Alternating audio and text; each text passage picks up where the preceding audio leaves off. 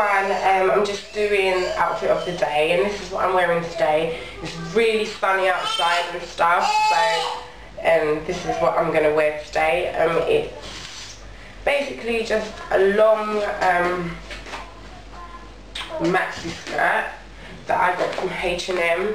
It's like this kind of detail, um, flowery and stuff, and there's just a white vest top underneath, and then I put a belt around it to kind of separate it, if you get what I'm saying.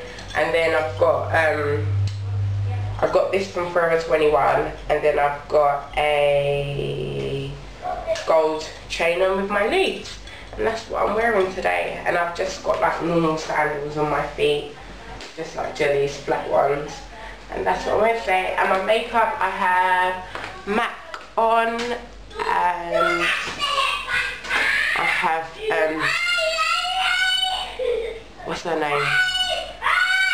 Sleek um, blusher in Nude. It's the nudish one. And that's what I'm wearing today. And I've got my hair cut, so I'm looking a bit fresher.